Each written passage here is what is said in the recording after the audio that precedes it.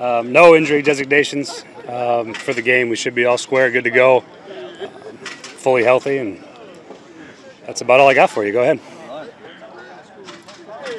Jamal uh, have a good. His build up been good, and he's ready to roll, I guess, for Sunday. Yep, it's been great. Um, again, we'll see. You know, snap wise, we'll see what that plays out like. But uh, end of the day, he's he's been working back. Worked back last week, full load here this week, and, and should be ready to roll. Get a chance to talk to, uh, to Tracy much after his big journey Uh, I talked. We talked to him before when, when we got the word that we were going to be able to, to make it work to send him out there.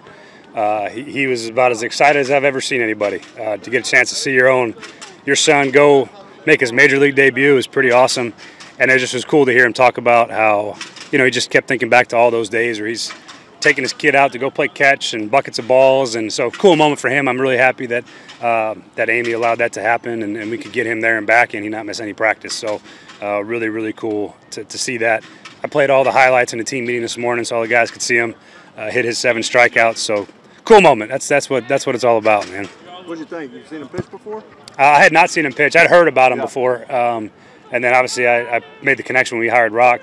I'd heard about him as a as a college player, um, but it was cool to see him pitch. I, I watched a little bit of it live just to see, uh, but that was that was really neat.